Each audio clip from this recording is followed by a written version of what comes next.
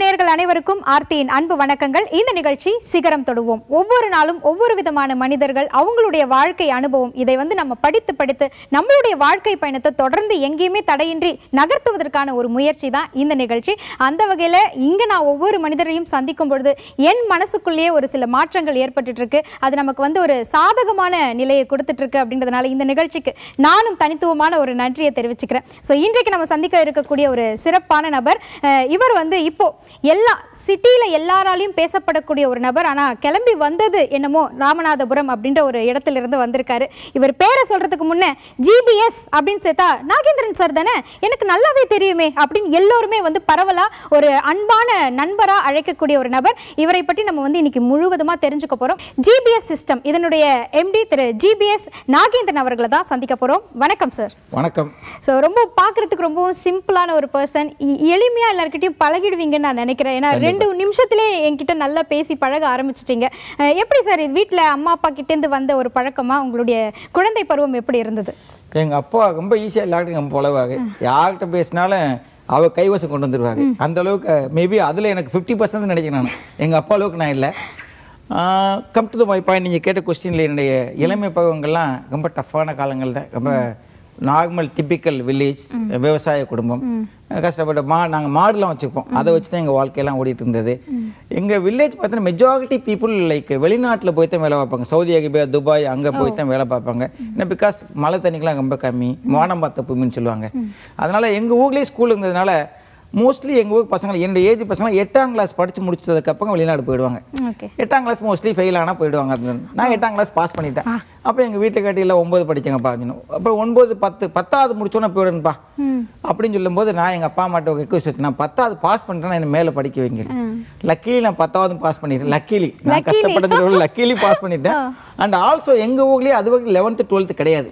நான் டென்த்து படிக்கும்போது லெவன்த்து வந்துச்சு. ஸோ அதனால எங்கள் ஊர்லேருந்து சிட்டிக்கு போய் படிக்க தேவையில்லை. ஸோ வில்லேஜில் ஒன்றும் பெரிய செலவுகள் கிடையாது. ஐ ஆல்சோ வித் கடவுள் புண்ணியத்தில் லெவன்த்து டுவெல்த்து பாஸ் பண்ணேன். பாஸ் பண்ண உடனே எங்கள் வீட்டில் எகெயின் கலவகம் ஸ்டார்ட் ஆகிடுது சரிப்பா வெளிநாடுகளுக்கு பாஸ்போர்ட்லாம் எடுத்துட்டாங்க. வெளிநாடு போகணும் அப்படின்னு சொல்லி லேபக் தானே. வெளிநாட்டில் போய் எங்கள் லேபக் வேலை பார்க்கணும்.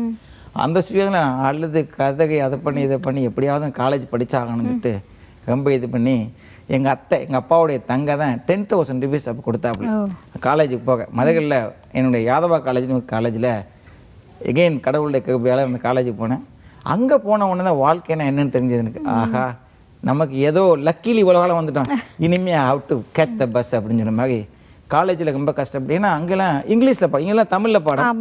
காலேஜ் போயிட்டா இங்கிலீஷில் பாடம். நான் மேக்ஸ் ரொம்ப நல்லா போடுவேன். மேக்ஸ் எல்லாம் படித்து படித்து சூப்பராக பண்ணிட்டு வந்துடுவேன் ஆனால் இங்கிலீஷில் ஃபெயிலாக போயிடுவேன் ஓ ஃபர்ஸ்ட் செமஸ்டருடைய இங்கிலீஷு கடைசி மூணாவது வருஷத்தில் எகெயின் லக்கிலி பாஸ் பண்ணேன் ஓகே அன்னைக்கு அதாவது இன்னும் சொல்ல போனா ஓப்பனாக சொல்ல போனா இங்கிலீஷை தமிழ் எழுதி வச்சு படிப்பேன். ஐ ஆம் கோயிங் அப்படிங்கிற மாதிரி. அந்த வெகி சென்னைக்கு வந்த பக்கம் இன்னைக்கு I also got award from டெல்லியில் இருந்து. டெல் சேர்மன் இன் யூஎஸ் அங்க போய் டெல் சேர்மன்ல லெனோவால I use to visit யூஎஸ்க்கு two times Lenovo Dell HP all the meetings I use to go all over the globe today எல்லா கூட இங்கிலீஷ்ல பேசுறதுக்கு கடவுள் அந்த சான்ஸ் எனக்கு சூப்பர் சார். நீங்க வெளிநாடு போகணும் போகணும் போகணும்னு அவங்க ஆசைப்பட்டாங்க. வேலை செய்ய போகாம பெருமை தேடி வரதுக்கு போயிட்டு வந்த ஒரு மனிதர் அப்படின்றத ஆரம்பத்திலே எங்களுக்கு புரிய வச்சுட்டீங்க. லக்கிலி நீங்க பாஸ் பண்ணிட்டீங்க எயிட் ஸ்டாண்டர்ட் அதற்காக நாங்களும் கடவுளுக்கு வந்து நன்றி சொல்றோம். ஏன்னா நீங்க பாஸ் பண்ணதுனால தான் இப்படிப்பட்ட ஒரு மனிதர் எங்களுக்கு கிடைச்சிருக்காரு.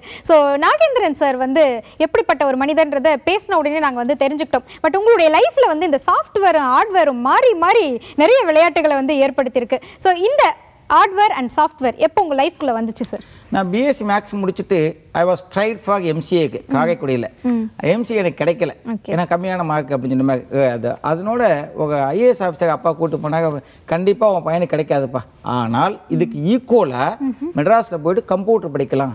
பிரில்லியன்ட் ஐஐடி அதெல்லாம் ரொம்ப famous I'm talk about ninety two two அப்போ போது சொன்ன உடனே எங்கள் அப்பா உடனே டேக்கன கால் லைக் அடுத்த நாளே சென்னைக்கு வந்து எகெயின் இந்த ஐஐடி ஆப்பிள் இதெல்லாம் போனால் எனக்கு இன்டர்வியூ எடுத்தாங்க. உங்களை மாதிரி அழகான பொண்ணு. இன்டர்வியூ எடுக்கும்போது அவங்க கேட்கும்போது பார்த்தோன்னே சென்னை இல்லையா? ஃபர்ஸ்ட் டைம் சென்னையை பார்த்துட்டு எனக்கு ஒரு மாதிரி நர்வஸாக இருந்தது. அவங்க கேட்ட கொஸ்டின் ஒன்று நான் சொன்ன பதில் ஒன்று. ஸோ இல்லை போய் இங்கிலீஷ் படிச்சுட்டு வாங்க அப்படின்னு சொல்லிட்டாங்க. ஸோ என்ஐடியும் சேர்க்கல ஆப்பிள் சேர்க்கல. ஏதோ எகெயின் லக்கிலி பிகிலியனில் சேர்த்தாங்க. அங்கே பில்லியன் கம்ப்யூட்டரில் சேர்ந்து சாஃப்ட்வேர் படித்தேன் ஒன் இயர் கோர்ஸ் படித்து முடிச்சுட்டு immediate I got a placement இமாக்கோன்னு ஒரு கம்பெனியில் I was work with one year but என்னமோ என் மனசு தோணுச்சு இந்த சம்பளத்தில் வச்சு என் வாழ்க்கையில் அடுத்த எடுத்துகிட்டு போக முடியாது. எகைன் எங்கள் வீட்டில் என்ன சொன்னாங்க படித்து முடிச்சிட்டலப்பா எகைன் வெளிநாட்டுக்கு போ. அந்த வெளிநாடு போனா இன்னும் அங்கேயே தான் இருக்காங்க. அதே பாயிண்ட்ல தான் இருக்காங்க. வெளிநாடு போனா நல்லா சம்பாதிச்சிடலாம். படிச்சு வேக முடிச்சிட்டேன் அப்படின்னு சொன்னபோது நானும் வேக வழி இல்லை. I am ready for it அதுக்கு அந்த அந்த வேலையெல்லாம் ஸ்டார்ட் பண்ண ஆரம்பிச்சிட்டேன். ஏன்னா அங்கே சம்பளம் தௌசண்ட் ஃபைவ் ஹண்ட்ரட் ருபீஸ் அதை வச்சு வாழ முடியாதுன்னு தெரிஞ்சு போச்சு. அதுக்கப்புறம் இந்த luckily I met a friend அவங்க ஹார்ட்வேர் பிஸ்னஸ் பண்ணாங்க. அவங்க இந்த வேலைக்கு போயிட்டு ஈவினிங் அவங்கள சப்போர்ட் பண்ணி ஹார்ட் டிஸ்கை வாங்கி கொண்டு இன்னொரு இடத்துல கொடுத்தது. அந்த மூலமாக I got a good network அப்புறம் பார்த்தா இதை விட அதில் கூட காசு வந்துச்சு. Month thousand five hundred rupees wages part time ஜாப்ல த்ரீ தௌசண்ட் ஃபோர் தௌசண்ட் வர ஆரம்பிச்சிடுது பரவாயில்ல நம்ம ஏன் அதை பண்ணக்கூடாதுன்னு இதை குவிட் பண்ணிட்டு I start small manner not like big மேனரில் ஒரு பெட்டி மட்டும் வச்சுக்குவேன். அதான் மூலதானம் அதான் ஆஃபீஸ் எல்லாமே. ஒரு பிபி நம்பருக்கு கொடுத்துட்டு ஐ கோன் பாஸ் அந்த வாங்குறது ஒரு இடத்துல த்ரீ ஃபோர் பிளேஸஸ் கொடுத்துட்டு அப்படியே பண்ணிகிட்டே இருந்தோம் ஒரு த்ரீ மந்த்ஸில் அவர் டெவலப் தென் அப்போ எங்கள் வீட்டில் ஸ்ட்ரிக்டாக சொல்லிட்டு அந்த விசா அங்கெல்லாம் வேண்டாம். இங்கேயே நான் பொழைச்சிக்குவேன் அப்படின்னு சொன்ன மாதிரி. ஆனால் பட் ஸ்டில் எங்கள் வீட்டில் போகும்போது இல்லைடா எதுக்காக இவ்வளோ கஷ்டப்படணும்? நம்ம எங்கள் தங்கைனா கல்யாணம் ஆகும் நம்ம வீட்டில் தங்கைக்கு இவ்வளோ சுச்சுவேஷன் இருக்கும்போது ஏன் இது? அங்கே நல்ல சம்பளம் கிடைக்கும். அப்போது இங்கேயா நீ தௌசண்ட் ஃபைவ் ருபீஸாக கஷ்டப்படணும்னு சொன்னாங்க. பட் எனக்கு என்னமோ நான் கஷ்டப்பட்டது மாதிரி எனக்கு ஒரு கல்யாணம் முடிச்சு என் பிள்ளைங்களாம் கஷ்டப்படக்கூடாது. கூடாது. இதே மாதிரி வெளிநாடு போக ராமநாதபுரம் செட்டில் ஆக மெட்ராஸ் போக நோ ஐ டோன்ட் வாண்ட் அதனால சம்வாட் கன்வின்ஸ் பண்ணி கடவுள் அகலால் நான் மெட்ராஸில் அப்போவே ஹார்ட்வேரில் செட்டில் ஆகிட்டேன் சூப்பர் சார் சூப்பர் ஹார்ட் ஒர்க்குள்ள நீங்க எப்படி போனீங்கன்றதை தெரிஞ்சுக்கிறதுக்கு முன்ன சென்னைக்குள்ள எப்படி சர்வை பண்ணீங்க? நீங்க ஏன்னா ஒரு கிராமத்துல இருந்து வந்திருக்கீங்க. உங்களுக்கு யார் வந்து எப்பவுமே சப்போர்ட்டிவா யாராவது ஒரு நண்பர் இருந்திருக்கலாம். யாராவது ஒரு மென்டார் இருந்திருக்கலாம். யாராவது ஒருத்தர் உங்களை எப்பவுமே பூஸ்டப் பண்ணிக்கிட்டே இருக்கக்கூடிய ஒரு பர்சன் அப்படின்னு சொன்னா யார் ஞாபகத்துக்கு வருவாங்க சார் நான் மெட்ராஸ்க்கு வந்து தங்குனது அப்பாவுடைய ஃப்ரெண்டு அப்துல் காதர் அப்படின்னு ஒருத்தர் வீட்டில். அவங்க தான் என் வாழ்க்கையில் அந்த இடத்த கொடுத்தவங்க ஃபர்ஸ்ட் உடனே அவங்க வீட்டில் ஸ்டே பண்ணேன். படித்து முடிச்சோன்னே அவங்க வீட்டில் வெளியே வந்து ஃப்ரெண்ட்ஸ்லாம் தங்கியிருந்தாங்க. அவங்களோட சேர்ந்து பழவந்தாங்களில் தங்கியிருந்தேன். ரொம்ப கஷ்டமான பீரியட் அந்த வேலைக்கு போன பீரியடில் அந்த ஒரு நாலஞ்சு பேருக்கு நான் தான் எல்லாம் இன்சார்ஜ் மாதிரி. சம்பளம் வந்து நான் ஒர்க் பண்ண கம்பெனியில் அதுக்கப்புறம் பார்க்கணும்னா செவன்த்து எயித்து டென்த்து வரைக்கும் எனக்கு சம்பளம் சம்பளம் கொடுக்குறதுக்கு. ஆனால் வெகஸ் அந்த ஹவுஸ் ஓனருக்கு வந்து ரெண்டாம் தேதிக்கே வந்து நிற்பாங்க அந்த வாடகை கேட்டு இது பண்ண ரொம்ப கஷ்டமான காலங்கள். நான் அதை ஃபாலோ பண்ணி ஃபாலோ பண்ணியே நான் பிஸ்னஸ் ஸ்டார்ட் பண்ண காலத்துலேருந்து அன்னையிலேருந்து நைன்டீன் நைன்டி ஃபோரில் ஐ ஸ்டார்ட் மை பிஸ்னஸ் இன்றைக்கி என்கிட்ட ஒரு ஆல்மோஸ்ட் ஒரு எழுபது எண்பது லட்சம் ரூபாய்க்கு மேலே நான் சம்பளம் கொடுக்குறேன். ஒன்றாம் தேதி மை சம்பளம் இருக்கும் மொழிய. If it is fail that means on Sunday அது. இந்த ரெண்டாம் தேதி சம்பளம் ஆச்சுன்னா அது சண்டையாக தான் இருக்கும் இல்லையா அப் டு டுடே வரைக்கும் என் லைஃப் டைம் வரைக்கும் ரெண்டாம் தேதி சம்பளம் போகக்கூடாதுல்ல? ஐ ஸ்ட்ரா ஐ ஸ்ட்ராங்காக ரொம்ப ஸோ ஸ்ட்ராங்காக நம்ம பட்ட ஒரு கஷ்டம் வரக்கூடியவங்க அதை படக்கூடாது. அதனால வந்து ஒன்னாம் தேதியே சம்பளத்தை கொடுத்துடணும். அதான் நம்ம படுற கஷ்டத்துல இருந்து நம்ம அதை மாத்தணும்னு நினைக்கிறத தவிர நான் பட்டேன் இல்ல. நீயும் படு அப்படின்ற அந்த எண்ணம் இருக்கக்கூடாதுன்னு. Hats off sir super hardware அப்படின்ற ஒரு விஷயத்துக்குள்ள பட் சாஃப்ட்வேரை நம்பி தான் அதுதான் நமக்கு கை கொடுக்கும் தான் நீங்க நினைச்சீங்க. ஹார்ட்வேர் அப்படின்றது அந்த காலகட்டத்துல எப்படி இருந்தது சார் அந்த அப்போ வந்து சாஃப்ட்வேருக்கு வந்து இவ்வளோ டிமாண்ட் இல்லை. இன்னைக்கு இந்த அளவுக்கு. அப்போ எல்லாம் பிஇ படிச்சவங்களுக்கு தான் இம்பார்ட்டன்ஸ் இருந்தது. நான் பிஎஸ்சி மேக்ஸ் படிச்சிருந்தேன். அதனால எனக்கு அந்த எக்ஸ்போசர் கூட கிடைக்கல. யூஎஸ்லாம் போக சான்சஸ் ரொம்ப லேட்டான மாதிரி தோணுச்சு. அதனால தான் எனக்கு ஆல்ரெடி நான் same time like hardware business பார்ஷியலாக பண்ணிட்டு இருந்ததுனால எனக்கு அதில் ஈஸி என்ட்ரியாக கிடைச்சதுனால உடனே ஸ்டார்ட் எடுத்தேன். அதுலேயும் நான் அப்படி சொல்ல போனால் first first TVS champ bike வாங்கியிருந்தேன். ஒரு நாளைக்கு மினிமம் அப்போ உள்ள ரோட்லாம் ரொம்ப ஒஸ்ட்டு சென்னையில். பழவந்தாங்களில் பைக் எடுத்தேன்னா அப்போ கும்முடி பூண்டி வரைக்கும் போவேன். Minimum hundred and fifty kilometres per day drive இன்னமும் அந்த வயசில் தெரியல. ரொம்ப வெகு வாழ்க்கையில் சாதிச்சாகணும் பண்ணி ஆகணும் அப்படிங்கிற மாதிரி. இன்னொரு எக்ஸாம்பிள் சொல்ல பார்த்தீங்கன்னா நான் எதார்த்தம் I happen to come to கேட்க நகை இந்த மாதிரி. காலையில் அந்த பசங்கள தங்கியிருந்த இல்லையா நாலரை மணி அஞ்சு மணிக்கு. நான் எப்போவுமே நாலரை மணிக்கு எழுந்துருவேன். எழுந்து நைட்டு சமைச்சுக்குவோம். பத்து பதினோரு மணிக்கு இதை சாப்பிட்ருப்போம் அந்த மீதெல்லாம் இருக்கும் எல்லாத்தையும் அடிச்சு போட்டு சாப்பிட்டு கிளம்பிட்டோம்னா எகைன் அடுத்த நைட் தான் சாப்பாடு. அந்த அளவுக்கு ஸ்ட்ரிக்டாக இருந்ததுனால வழி இல்லை. பைசா அவ்வளவு தேவைகள். நம்ம தேவைக்கு அளவுக்கு சம்பாதிக்க முடியாத ஊருக்கு அமிச்சிருவாங்களே. பட் எனக்கு தெரியும் ஐ மேக் இட் அதனால அந்த டிரைவ் போயிட்டே இருக்கும்போது happen to come to K K நகரில். சும்மா அப்படியே கஸ்டமர் பிளேஸ்க்கு வந்துட்டு மத்தியானம் ஆனால் டீ பண்ணு அப்படி சாப்பிடணும். அது இப்போ பன்னெண்டரை மணி போல் வந்து ஒரு இடத்துல வந்து பண்ணிட்டு சாப்பிட்டேன். அப்போ பார்த்தா அங்கே குழந்தைங்களாம் இங்கிலீஷ்லேயே பேசுகிறாங்க ஸ்கூல் பயங்கர கூட்டமாக இருந்தால் ஸ்கூல் குழந்தைங்க வந்து பயங்கரமாக இங்கிலீஷில் பேசிக்கிட்டே அவங்க அந்த பண்ணை பற்றி பேசுறது அவங்க சிட் சாட் பண்ணுறதெல்லாம் ஐ வாஸ் எனக்கு தான் இங்கிலீஷுங்கிறது பெரிய விஷயமாச்சே. அப்படியே பார்த்துட்டு இருக்கும்போது அப்போ விசாரிச்சு இது என்னப்பா இந்த ஸ்கூலில் பத்மேஸ்வர் சாத்தகி ஸ்கூலு தமிழ்நாட்டிலேயே பெரிய ஸ்கூலு சென்னையிலே ரொம்ப பெரிய ஸ்கூலு நல்லா பார்க்கும்போது எல்லாம் வெளில வெளியே பிள்ளையெல்லாம் பணக்காகட்டு பிள்ளைகளா அப்படிங்கிற மாதிரி. நானும் என் வாழ்க்கையில் கல்யாணம் நடந்தா குழந்தைகள் பெற்றா அந்த குழந்தை இந்த ஸ்கூலில் தான் படிக்கணும். I taken the decision so லக்கிலியா கடவுளுடைய புண்ணியத்தில் எப்படின்னா அதுக்கப்புறம் நான் என்ன ஓரளவுக்கு டெவலப் ஆகிட்டு அவங்க ஆஃபீஸ் ஓப்பன் பண்ணுற அளவுக்கு வந்தபோது அப்போ இடம் பார்க்க ஆரம்பிக்கும் போது கேகே நகரில் நம்ம பார்த்தோமே அந்த ஸ்கூல் அதுக்கு பக்கத்தில் தான் இடம் பார்க்கணும் ஆஃபீஸ்க்கு அப்போ அதுவே தேடல் இருக்கும்போது அவங்க ஃப்ரெண்டை பார்த்தேன் அவங்க மூலமாக கேகே நகரில் ஐ ஸ்டார்டட் மை பிஸ்னஸ் என்னுடைய பேபி என்னுடைய ஒய்ஃப் என்னுடைய குழந்தை எனிதிங் சொல்லலாம். என்னுடைய ஸ்டில் லவ் ஒர்க் அப்படின்னு கூட சொல்லலாம். அந்த GPS system company start on nineteen ninety four ஆகாத மாதம் பத்தாம் தேதி வெள்ளிக்கிழமை ஒன்பதாம் மணிக்கு. நினைச்சாவே ஜிபிஎஸ்னு முன்னாடி இல்ல. இந்த company call gigabyte system start பண்ண கிகாபைட்னா என்னன்னு கேட்டிங்கன்னா வேர்ல்டுலயே number one company motherboard gigabyte அப்ப அந்த அந்த மாதிரி கம்பெனி ஆகணும் அப்படின்னு சொன்ன மாதிரி I start gigabyte system start பண்ணேன். தென் ஐ பிகேம் நெக்ஸ்ட் லெவலில் போகும்போது கிகாபைட் சிஸ்டத்தை ரெஜிஸ்டர் பண்ண முடியல. பிரைவேட் லிமிடெட் கம்பெனி ஆகும்போது gigabyte is own by those people. So அதனால கிகாபைட் சிஸ்டத்தை சின்னது பண்ணி GPS systems and services private limited start பண்ணிட்டேன் ஸ்டார்ட் பண்ணும்போது அந்த ஹாப்பி ஒரு குழந்தை பிறந்த ஒரு ஃபீல் உங்களுக்கு இருந்தது. பட் அந்த குழந்தைய வளர்க்குறது அப்படின்றது ரொம்ப ஒரு ஒரு சவாலான ஒரு விஷயம் தான் இல்லைங்களா? உண்மையே ரொம்ப கஷ்டம். அதாவது எப்படின்னா எனக்கு என்ன சொல்ல போனால் ஹேவ் டு கோட் திஸ் நான் ஒரு மிஸ்டர் சுப்பிரமணியம்னு ஒருத்தர் வீட்டில் வந்தேன். அவங்க அம்- அப்போ டெலிஃபோன் கிடைக்காது ஈஸியாக சரி பிபி நம்பர் அவங்ககிட்ட இருந்தது. ஒரு ஃப்ரெண்டு மூலம் இன்ட்ரடியூஸ் பண்ணி அவங்க வீட்டில் வந்து ஸ்டார்டட் தட் எனக்கு within about three மந்த்ஸில் I got a malaria fever நான் அந்த ரூம் அங்கேயே சின்ன ஒரு வீடு. அந்த வீட்டுக்குள்ளேயே ஆஃபீஸு உள்ளக்க நான் யூஸ் ஸ்டே நானும் இன்னொரு ஃப்ரெண்டு ஸ்டே பண்ணியிருந்தோம். பண்ணும்போது பார்த்தா த்ரீ மந்த்ஸில் மலேரியா வந்து even I am not able to move அந்த அளவுக்கு பிரச்சனை ஆகி போச்சு. இது வெளியே தெரிஞ்சால் வீட்டுக்கு போய் ஆகணும். ஊருக்கு போயிட்டா வீட்டுக்கு வர முடியாது. அதனால ஒரு நாள் வெளியிலே வரல படுத்திருக்கேன். அந்த ஹவுஸ் ஓனர் அவங்க வந்து எங்கே சவுண்டே காணாம இவங்க அப்படின்னு சொன்ன மாதிரி three months I am not much close with then அவங்க உள்ளே வந்தவங்க பையன் வந்து பார்த்துட்டு "என்னால எழுந்துக்க முடியல? மச் அவங்க லேடி மாமா வந்து ஆஃபீஸ் போயிட்டார். ஸோ அவங்க கையை பிடிச்சி என்னை தூக்கி அந்த ட்ரெஸ்லாம் கட்டி விட்ட அளவுக்கு தி ஹெல்ப் மீ இன்னைக்கு அஹ், சுப்பிரமணியம் எங்கள் ஆஃபீஸில் இஸ் மேனேஜர் அவங்க இன்னைக்கு சென்னையிலே என்னுடைய அப்பா அம்மான்னு பார்த்தா இந்திரா சுப்பிரமணியன் வச்சுக்கோங்க. இன்னைக்கு வரைக்கும். அந்த அளவுக்கு ஐ எம் ரெஸ்பெக்ட் அவங்க வீட்டில் தான் வந்து அப்போ தென் வெளியில் இன்னொரு இடத்துக்கு போனோம். அவங்க எங்கள் ஃபேமிலி அங்கே தான். இன்றைக்கி என் குழந்தைங்கள் வந்து ஃபஸ்ட்டு பார்க்குது அவங்கள தான். அந்த அளவுக்கு டச்சிங் மூமெண்ட் வச்சுக்கலாம் super sir super respecting so much to super sir. உண்மையிலே என்னைக்குமே நம்ம வந்து நமக்கு உதவுனவங்கள மறக்கவே கூடாது. லைஃப் டைமுக்கு அவங்களோட நம்ம டிராவல் பண்ணிக்கிட்டே இருக்கணுன்றதை நீங்கள் ஃபாலோ பண்ணிட்டு இருக்கீங்க. ஸோ இந்த ஜிபிஎஸ் ஆரம்பிச்ச பிறகு சின்ன சின்ன வேலைகள் தான் நீங்கள் செஞ்சிருப்பீங்க. எப்போ இதை ஒரு பெரிய லெவலுக்கு கொண்டு போகணும்? பெரிய பெரிய கம்பெனிஸ்குள்ள ஜிபிஎஸ் கொண்டு போகணும் அப்படின்ற அந்த ஐடியாஸ் எப்போ சார் ஸ்டார்ட் பண்ணீங்க? நான் நைன்டீன் நைன்டி செவனில் நைன்டி ஃபோரில் ஸ்டார்ட் பண்ண ninety five ninety six ninety six கல்யாணம். கல்யாணம் இப்போ குழந்தை. எல்லாம் கமிட்மெண்ட்டாகவே வச்சு உடனே எங்கள் வீட்டில் என்ன என்ன மெட்ராஸில் புள்ள காண தப்பா போய் போகணும் அப்படின்னு சொல்லிட்டு அவங்களுக்கு அடுத்த சூழ்நிலை வந்து கல்யாணம் பண்ணி ஆகணும். அவங்க பயம் அவங்களுக்கு. ஸோ அதனால அவங்க நைன்டி ஃபோரில் நைன்டி ஃபைவ்ல கேட்டால் no I cannot do it நான் அப்போவே மாதம் ஒரு சீட்டு போட்டு மாதம் மாதம் ஃபைவ் தௌசண்ட் ருபீஸ் பண்ணி என்னைக்கு என் கையில் ஒன் லேக் வந்துச்சோ அன்னைக்கு I said okay will I get marry relative பொண்ணு எதுவும் பொண்ணு சொன்னாங்க. கல்யாணத்துலேயும் ஒய்ஃபை பார்த்தேன். ரிலேட்டிவ் பொண்ணு பக்கத்து ஓகே ஓகே டன் அப்படின்னு சொன்ன கல்யாணம் முடிஞ்சது. கல்யாணம் முடிஞ்சு ஒன் இயர்ல என் பொண்ணு பக்கத்துல ஸோ கமிட்மெண்ட்டோட சேர்த்து பிஸ்னஸ் பண்ணனால I am not able develop next லெவலில். என் பொண்ணு பக்கத்துல அடுத்த நைன்டி செவன் நைன்டி எயிட்லேயே அந்த அந்த வெறி வந்துருச்சு. எஸ் அடுத்த லெவல் போகணும் அப்படின்னு சொன்ன மாதிரி. அந்த போகும்போது ஃபர்ஸ்ட் சோகம் நைன்டி எயிட்டில் மெயின் ரோட்டில் ஐ ஓப்பன் தட் அப்போ அந்த ரெண்ட் வந்து ten thousand rupees ten thousand very big money அப்பம்போது. அந்த ரெண்டோட I taken challenge yes I can சொன்ன மாதிரி. தோத்தா என்ன ஆகும் அப்படின்னு என்ன ஆகும்? என் திறமைக்கு எங்கேயாவது ஒரு லட்ச ரூபாய் சம்பளம் கிடைக்கும் நம்பிக்கையோட. ஐ வென் டேக் அங்கே கடவுள் அப்படி ஒரு லிஃப்ட்டை கொடுத்தான்.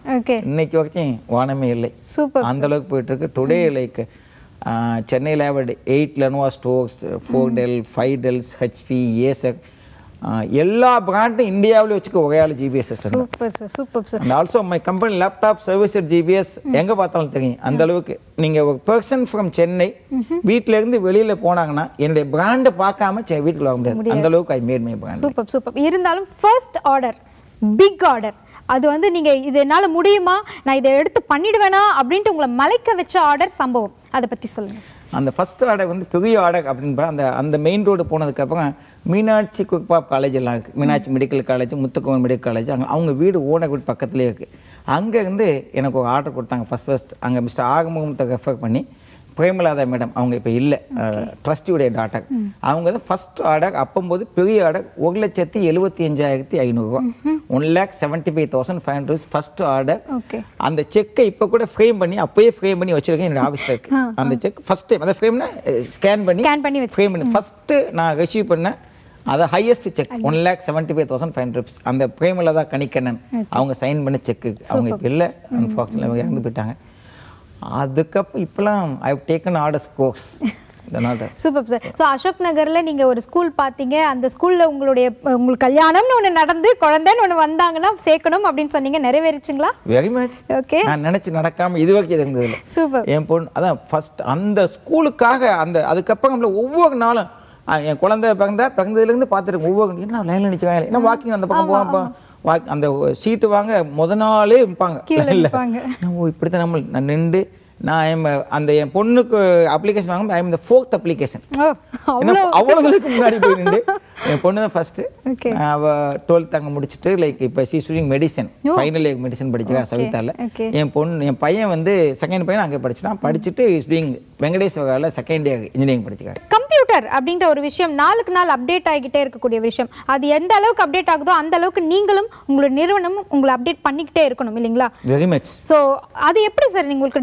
டிஃபிகல்ட்டியாக இருக்குமா? இல்லை நீங்கள் அதை எப்படி ஒரு சேலஞ்சாக எடுத்து பண்ணுவீங்களா? இல்லை it is not a challenge நம்ம அந்த ஃப்ளோவில் போகும்போதே ஆட்டோமேட்டிக் நமக்கே தெரியும். ஏன்னா கம்பெனி நம்ம பிராண்டோட தான் எல்லாம் அசோசியேட் பண்ணியிருக்கோம். ஆட்டோமேட்டிக் அவங்க வாங்குவாங்க. இப்போ ஐ த்ரீன்னு ஒரு செட்டப் வந்து எங்கே ஐ ஃபைவ் போகும் தேல் கிவ் ட்ரைனிங் நமக்கு அடுத்த வெர்ஷன் எப்போ மாக போகுது அவங்க தேல் கிவ் இன்ஃபர்மேஷன் அவங்க தேல் கிவ் ட்ரைனிங் பேஸ்ட் வந்து நம்ம ஆளுக்கு சேர்ந்து போய் தான் ஆகணும் போயிடுவாங்க. நாங்கள் வே குட் செட்டப் என்ற சிஸ்டம் கட்டாங்க ஜிஎம் ஜிஎம்கில் மேனேஜர் மேனேஜரில் பிராண்டு கட்டு பிராண்டு கட்டு கீழே அந்த பர்டிகுலர் இதோடைய பிரான்ச்சுடைய மேனேஜர் இருப்பாங்க. ஸோ ஒன்று ஒன்றுக்கும் விலவ லாட் ஆஃப் ட்ரைனிங் அந்த பேஸ்ட் ஆன் ட்ரைனிங் இவங்க மூலம் அவங்க ஃபஸ்ட் ட்ரைனிங் போயிட்டு வருவாங்க. மேபி ஃபாரினில் லைக் லான்ச் இருக்கும். அந்த லான்ச்சுக்கு நான் போவேன் அதை வச்சு எங்கள் ஜிஎம் போவாங்க. போயிட்டு வந்ததுக்கப்புறம் பிராண்டு ஹெட் லெவலில் அதை தெல் பி இதெல்லாம் வரப்போகுது அப்படின்னு சொல்லுவாங்க. அதை பேஸ் பண்ணி அவங்ககிட்ட உள்ள மேனேஜர் லெவலில் தென் மேனேஜர் ஒர்க்கிங் கம்யூனிட்டிக்கு சொல்லி கொடுத்துருவாங்க. நாட் பிக் டீல் நம்ம அதில் இன்வால்வ் ஆகிட்டோம்னா அக்கார்டிங் த மார்க்கெட் போகும்போது நம்ம சேர்ந்து போயிடுவோம். நான் போயிடுவேன். ஓ ஓ ஓ. எப்பவுமே விச் டஸ் நாட் சேஞ்ச் இல் டைன்னு சொல்லுவாங்க. நான் அதனால சேஞ்சுக்கு எப்பவுமே நான் ரெடியாக ரெடியா இருப்பீங்க. அடுத்து என்ன கத்துக்கிறதுக்கும் ரெடியா இருக்கீங்க. எதுனாலும். எல்லாரும் என்னை பத்தி எங்க ஆஃபீஸ் சொல்லும்போது what next what next I am always what next நான் போகிறேன் somethings not happen what next ஏன்னா ஆகல. அதே உட்காந்து பேசி என்ன பண்ணியோம் வாட் நெக்ஸ்ட் அப்படி போகும்போது நம்மள அறியாமே அந்த உத்வேகம் கிடைச்சிக்கும் I will travel on that super நான் இந்த சார் ஒரே ஒரு டவுட் எனக்கு பொதுவான ஒரு விஷயம் நான் கேட்குறேன். இப்போ நம்ம நல்லா பண்ணிட்டு இருக்கோம் ஹார்ட்வேரில் வந்து சூப்பராக போயிட்டு இருக்கு ஜிபிஎஸ்ன்ற போது ஒரு சமூக அக்கறையோட ஒரு பார்வை என்ன அப்படின்னா இந்த டிஜிட்டல் கழிவுகள் அப்படின்னு நம்ம சொல்கிறோம் இது வந்து நிறைய உருவாகிட்டு இருக்கு நம்ம ஊரில் நிறைய நம்ம பயன்படுத்திட்டு இருக்கோம் ஸோ இந்த டிஜிட்டல் கழிவுகள்னாலேயே இயற்கை வந்து பாதிப்படையும் அப்படின்ற ஒரு சூழலும் இருந்துட்டு இருக்கு இதற்கு வந்து நம்ம ஏதாவது மாற்று பண்ண முடியுமா? இதை மறுசுழற்சி பண்ண முடியுமா? அந்த மாதிரி ஏதாவது ஐடியாஸ் நீங்கள் கொண்டு வந்திருக்கீங்களா? இல்ல காலங்கள் மாறும்போது நம்மளும் மாறித்தான் ஆகணும். இந்த கொரோனான்னு நம்ம எதுக்கு பார்த்தோமா? அது வந்து நம்ம எவ்வளவு பகட்டி போட்டுச்சு பார்த்தீங்களா ஸோ அதனால நம்ம இந்த டிஜிட்டலுக்குலாம் ரொம்ப போக வேண்டிய சுச்சுவேஷன் ஆகி போச்சு. Okay. ஆனா இந்த டிஜிட்டல் கல்வினால மட்டும் எல்லாம் பண்ணிக்க முடியும்னா கண்டிப்பா முடியாது. இந்த சுச்சுவேஷன் மாறினதுக்கு அப்புறம் ஏன்னா நம்ம ரெண்டு பேரும் பார்த்து உட்கார்ந்து பேசுறதுக்கும் துக்கு எங்கேயோ உள்ளது பார்த்து பேசுறதுக்கும் லாட் ஆஃப் சேஞ்ச். இந்த டிசிப்ளின் வந்து அதில் கிடைக்காது. இப்போ நம்ம பார்க்கமே லாட் ஆஃப் டிசிப்ளின் ஈவன் கற்றுக் கொடுத்தா கூட அந்த வயசுல அந்த குழந்தைங்களை வந்து அந்த டிசிப்ளினை பயன்படுத்த முடியாது. நம்மளும் அந்த அதெல்லாம் கடந்தானே வந்திருக்கோம். ஸோ கண்டிப்பா டிஜிட்டல் கல்வி it will be useful fifty percent fifty percent டேரெக்டாக உட்காந்து அப்படிலாம் பண்ணும்போது தான் we can do it one ரெண்டு சேர்ந்தா தான் ஒழிய. நான் டிஜிட்டல் கல்வி ஒமிட் பண்ணிக்க முடியாது. முடியாது. ஓகே ஓகே உங்களுக்கு வந்து ஆரம்ப கட்டத்துல எப்படி ஒரு ஆயிரத்தி ஐநூறுரூவா சம்பளம் வாங்குறதுன்றது ஒரு பெரிய அச்சீவ்மெண்ட்டாக இருந்தது. பட் அதிலிருந்து நீங்க வளரணும்னு நினைச்சிருக்கீங்க. அதே மாதிரி உங்களை நம்பி உங்க கம்பெனியில வேலை பார்க்கணும்னு வரக்கூடிய அந்த ஒர்க்கர்ஸை நீங்க எந்த அளவுக்கு பார்க்குறீங்க எப்படி அவங்கள உயர்த்துறீங்க? என்னுடைய என்னுடைய ஆஃபீஸில் பார்த்த எம்ப்ளாயெல்லாம் பார்த்தீங்கன்னா இன்றைக்கி லைக் என்னோட அந்த மேன ஜிஎம்ஸ் லெவலில் உள்ளவங்கன்னா not less than twenty years இன்றைக்கி ட்ராவல் பண்ணுறவங்க என்னோட டுவெண்ட்டி இயர்ஸை எடுத்தோன்னே ஜிஎம் ஆகல. தேல் பி மேபி ஒருத்தங்கன்னா ஆஃபீஸ் பாய் லெவலில் வந்தவங்க இன்னைக்கு became like GM level salaries one lakh rupees apart from that என்னுடைய மேனேஜ்மெண்ட்டில் உள்ளவங்க எல்லாருமே I am giving net profitable incentive இதெல்லாம் இங்கே சொல்லக்கூடாதுனாலும் சொல்கிறேன் பரவாயில்ல வாட் இஸ் வாங்க.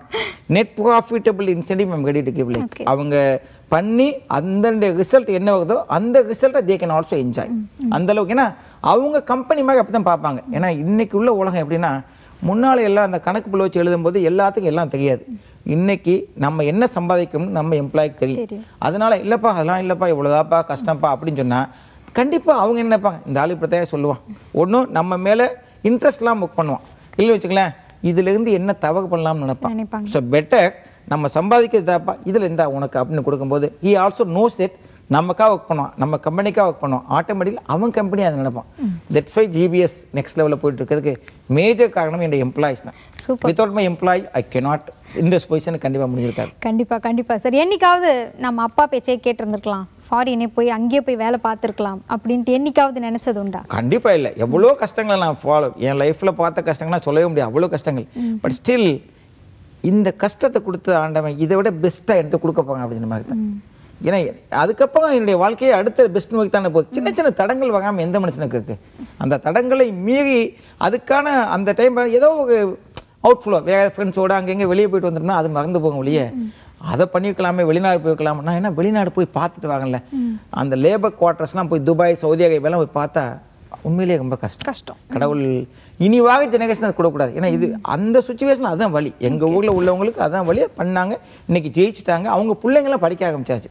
அதான் ஒழிய இனிமே வாக எங்கள் ஜெனரேஷன் எங்கள் ரிலேட்டிவ்ஸ் யாருக்குமே அந்த மாதிரி வேணாம்னு எனக்கும் தோணுது. சூப்பர் சார் பிஸ்னஸ் லெவலில் நிறைய காம்படிட்டர்ஸ் வர ஆரம்பிப்பாங்க உங்களை உங்களை சுற்றி அதில் நீங்கள் வந்து எதிர்பாராத இன்சிடென்ட் இதை நான் எதிர்பார்க்கவே இல்லை நான் இந்த மாதிரி ஒரு விஷயத்தை நான் சந்திச்சிட்டேன் அப்படி நடந்த நிகழ்வுகள் ஏதாவது இருக்குங்களா? அதுலேருந்து எப்படி ஓவர் கம் பண்ணி வந்தீங்க? காம்படிஷன் போகும்போது நான் எப்போவுமே எப்படி பார்ப்பேன்னா some some issue will come I don't I not talk very openly some issues வாக்கு தான் செய்யும். எக்கச்சக்கமாக வந்துட்டு பார்க்கும்போது I will gonna talk directly எப்பா இதுதான் பிரச்சனையா? இதுக்கு என்ன சொல்யூஷன் நீ நானே ஏன் பேசாமல் இருக்கணும்? நீ ஏன் ஒரு இஷ்யூவாக போயிருப்பானே? ஐம் சாரி ஃபார் திஸ் இந்த நீ இதை எடுத்துக்க அடுத்து நான் எடுத்துப்பேன். I will maintain very close relationship with my competitors எப்பவுமே நான் காம்படிட்டர் அவங்களை பார்க்க முடியும். எதுக்கா மாப்பிள்ளை மச்சான் பேசிட்டு போய் மச்சான் நீ பார்த்துக்க மச்சான் நான் அதை எடுத்துக்க மச்சான். அவங்களுமே நம்மளை அந்த மாதிரி கொண்டு போயிட்டா பிரச்சனை இருக்காது. அதுவே காம்படிஷனை பார்த்தோம்னா ரொம்ப கஷ்டமா இருக்கும். அவங்களோட ட்ராவல் பண்ணி கண்டிப்பாக பார்த்தாகணும். இண்டஸ்ட்ரி பீப்புளை டெய்லி பேசிஸ் மந்த்லி பேசிஸ் ஏன்னா எங்களுக்கு மீட்டிங்ஸ் எல்லாம் ஃபாரினில் இருக்கும். கண்டிப்பாக போய் தாங்கணும் ஏர்போர்ட் ஏர்போர்ட் நானும் என்னுடைய ஃப்ரெண்ட்ஸில் மாப்பிள்ளை மச்சான் தான் கூப்பிட்டுருக்கேன் அதனால் நான் அதை காம்படிஷனை பார்க்க மாட்டேன். I enjoy that only like. அவன்கிட்ட இருந்து என்ன கற்றுக்கலாம் ஆ. ஏன்னா கண்டிப்பாக நம்ம பார்க்க ஒவ்வொரு மனுஷனுக்கும் ஒன்றும் கற்றுக்கலாம் அவன்கிட்ட என்ன கற்றுக்கலாம் நம்ம? நம்ம அவன்கிட்ட இல்லாத என்கிட்ட என்ன இருக்குது அப்படின்னு மாதிரி தான். அதை பார்க்க முடியாது காம்படிஷனாக பார்க்க மாட்டேன். சூப்பர் யங்ஸ்டர்ஸ் நிறைய பேர் இப்போ வராங்க சார் அவங்களுக்குள்ள ஒரு குழப்பம் ஒரு இடத்துல வரும். நம்ம வேலை பார்க்கலாமா இல்லை ஆண்டர்பிரினர் ஆகலாமா அப்படின்ற ஒரு இடம் வரும். அப்படி வரக்கூடியவங்களுக்கு நீங்கள் என்ன ஒரு அட்வைஸ் கொடுப்பீங்க? எதை வச்சு அதை அவங்க முடிவு எடுக்கலாம் சார் குட் கொஸ்டின் இது வந்து இப்போ ரொம்ப டைலமோ பசங்கள்லாம் படித்து முடிச்சுட்டு வந்த உடனே வந்த உடனே அவனுக்கு ஒன்றரை லட்ச ரூபாய் சம்பளம் கிடைக்கணும். அப்படித்தான் நினச்சி வைப்பானே. அடே நீ ஒன்றரை லட்ச ரூபாய்க்கு ஒர்த்தானா கண்டிப்பாக இல்லை. ஓகே நானே இன்டர்வியூ பண்ணேன். சே ஓ சில நல்ல லெவலில் உள்ள. தம்பி என்ன பண்ணுறிய இது பண்ணுறிய லைக் ஆ எனக்கு எனக்கு ஐ வாண்ட் திஸ் காலையில் எத்தனை மணிக்கு ஆஃபீஸ் ஓகே பத்து மணிக்கு ஆஃபீஸ் எத்தனை மணிக்கு போகணும் கேட்பான். ஆஃபீஸ் டைம் என்ன? ஆஃபீஸ் என் டைம் எல்லாம் கேட்பான். ரைட் ஓகே இதெல்லாம் டைம் எவ்வளோ சம்பளம்? ஓகே இப்போ உனக்கு இருபதாயிரம் சம்பளம். ஓ சரி சரி எனக்கு எக்ஸ்ட்ரா என்ன இன்சென்டிவ் கிடைக்கும். சரி நீ என்னப்பா பண்ணுவ? கம்பெனிக்கு உனக்கு ஃபிஃப்டீன் தௌசண்ட் ருபீஸ் கொடுக்கணும் உனக்கு என்ன பண்ணும் அது எனக்கு தெரியாது சார்.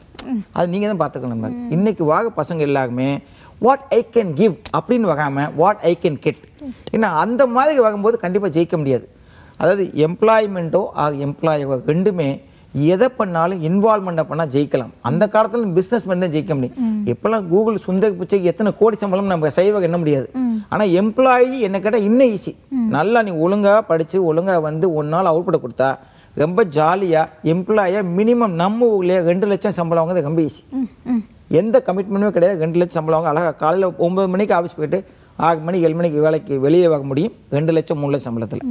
பட் அதில் ஒரு திமுக இருக்காது. Employee it's also good எம்ப்ளாய்மெண்ட்டுங்கிறது lot of plus minus will be there அந்த அதுக்கப்புறம் என்ஜாய் பண்ணி இந்த எம்ப்ளாய்மெண்ட் தானே கூப்பிட்டு நீங்கள் பேசுகிறீங்க எம்ப்ளாயை விட எம்ப்ளாய் எம்ப்ளாய்மெண்ட் கொடுத்தவங்களுக்கு கொடுத்தவங்கள அந்த ரித்தம் இருக்கும் அந்த பேச்சு இருக்கும் கெத்து இருக்கும் it's not easy also. Consistent இரநூறு பேர் ஒர்க் பண்ணுறாங்க அதை வச்சு ஒன்றாந்தே சம்பளம் கொடுக்குது it's not easy job but அதை பண்ணும்போது எனக்கு என்னமோ எம்ப்ளாய் நீ கொடுக்க ஆளாக இருந்தா ஏன்னா நமக்கு எல்லாத்துக்கும் கடவுள் அந்த சான்ஸை கொடுக்க கிடையாது.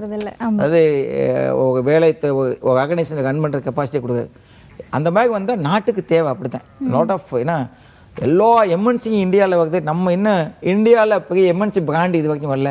இன்னைக்கு வாங்க யங்ஸ்டர்ஸ் கொண்டு வர முடியும் அதனால எதையுமே இன்வால்மெண்ட்டை பண்ணால் இன்னைக்கு வாக youngsters what I can get அப்படின்னு இல்லாமல் வாட் ஐ கேன் கிவ் அப்படிங்கிற ஒரு மென்டாலிட்டியோட வந்தால் எம்ப்ளாயாக இருந்தாலும் சரி எம்ப்ளாயாக இருந்தாலும் சரி யூ கேன் சிவகத்தை ஈஸியாக தொட முடியும்னு எதை கொடுக்குறோமோ அதானே சார் நமக்கும் கிடைக்கும் டெஃபினட்டாக நீங்கள் ஒழுங்காக கொடுத்தீங்கன்னா நாலு டைம் அஞ்சு டைம் கிடைக்கும். கண்டிப்பாக கிடைக்கும். உண்மையிலே சார் உங்க லைஃப் ஹிஸ்டரி பார்க்கும்போது படிக்கும்பொழுது ஃபாரின் போயிட்டு உங்க குடும்பம் அப்பா அம்மா அக்காவை மட்டும் பார்க்காம இங்க இருந்து தொழில் செஞ்சு உங்க குடும்பத்தையும் பார்த்து நம்ம பொருளாதாரம் உயர்றதுக்கு ஒரு முக்கிய காரணமாகவும் வகிச்சிட்டு இருக்கீங்க. நிறைய நபர்களையும் உருவாக்கிட்டு இருக்கீங்க. பல தொழில் முனைவோர் ஆகணும் நினைக்கக்கூடியவங்களுக்கு ஒரு முன்னுதாரணமா இருந்துட்டு இருக்கீங்க. தொடரட்டும் உங்களுடைய பணி. வெற்றி அடையட்டும். அடுத்தடுத்த உங்களுடைய பாதையும் வெற்றி பாதையாக அடையட்டும் அப்படின்ற வாழ்த்துக்களை நாங்க உங்களுக்கு தெரிவிக்கிறோம். நன்றி சார் தேங்க்யூ ரொம்ப நன்றி. உண்மையிலே தொழில் முனைவோர் ஆகணும் அப்படின்னு நினைச்சீங்கன்னா மூளை தான் மூலதனம். அதை பயன்படுத்துங்க முழு உழைப்பை போடுங்க. நிச்சயமா வெற்றி உங்களுக்கு தான் அப்படின்னு சார் சொல்லியிருக்காங்க. அவங்களுடைய வாழ்க்கையை நிச்சயமா நீங்களும் முன்னுதாரணமா எடுத்துக்கலாம். மீண்டும் உங்களை அடுத்த நிகழ்ச்சியில் சந்திக்கின்றோம். நன்றி வணக்கம்.